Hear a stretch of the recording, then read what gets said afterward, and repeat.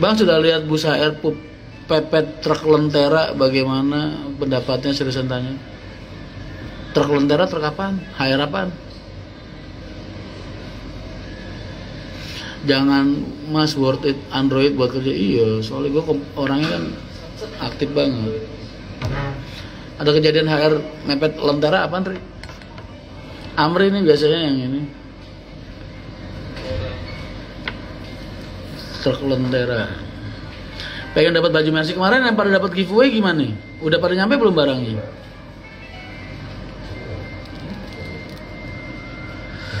beli iPhone khusus buat mesa sama vlog mas. Oh. Terus HP nya buat kerja ya? Gue nggak biasa pakai HP dua sih mas. HP gue tuh satu nomor gue cuma satu. Tutor di fallback mas Rian. Kalau ketemu open endorse baju bisa nggak mas? Bisa. Tak bantuin.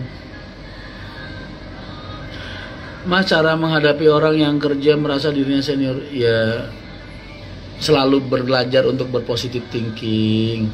Kalau ada hal baik dari dia ya dipakai didengerin. Kalau hal buruknya dianggap nggak ada. Nggak usah dibikin ribet hidup. Yang positif diambil yang negatif dibuang kita kan hidup selalu harus bisa memanfaatkan apa pun yang ada di sekitar kita mencari manfaat dari hal yang buruk pun ada. Dari daun yang jatuh aja kita bisa belajar. Ya dari setiap daun yang jatuh di jalan aja tuh kita bisa belajar. Apalagi dari orang yang ngerasa senior. Yang nggak positifnya ya jangan diambil jangan didengerin. Yang positifnya pakai makanya itu salah satu mungkin yang bisa ngebentuk karakter gue sampai saat ini kayak gini ya itu mungkin. Gue selalu belajar dalam segala macam hal kondisi baik yang baik maupun buruk baik yang menyenangkan maupun tidak menyenangkan. Pertimbangan milih jangan bahas masalah produk kalau di live. Entah kalau dijawab gimana? Kan aku satu hmm, berhubungan baik sama mereka semua. Mas rata ada pemberitahuannya ada pemberhentian di kota bumi? Ada di pasar kota bumi salam satu jiwa Arema. Oh kalau Arema itu salam satu jiwa ya? Kalau bonek wani. Kalau oh berarti setiap klub bola gitu ada slogannya semua ya? Oh. Kayak Makassar itu mas Ewako Ewako apa?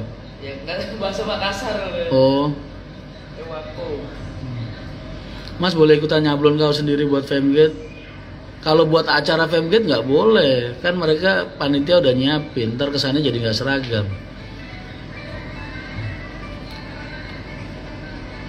Nah kak lihat video pas youtuber Medan minta rokok Mas Rian. Udah tahu rokok gua susah nyarinya di sini ya. Bukan yang ngebawain malah mintain. Parah ya begitu anak-anak itu. Tapi mereka lucu-lucu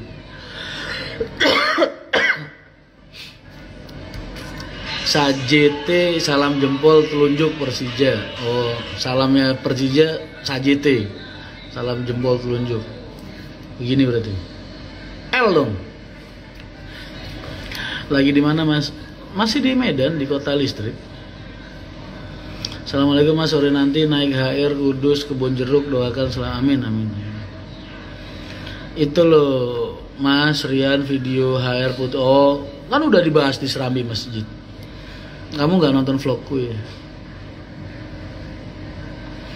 Bagaimana tanggapan Mas Boy untuk Ustadz yang menyarankan memusnahkan wayang kulit? Ya buat yang bertaklid sama beliau ya, mau ya harus dimusnahkan toh. Kan kamu bertaklid sama beliau. Kalau aku kan enggak.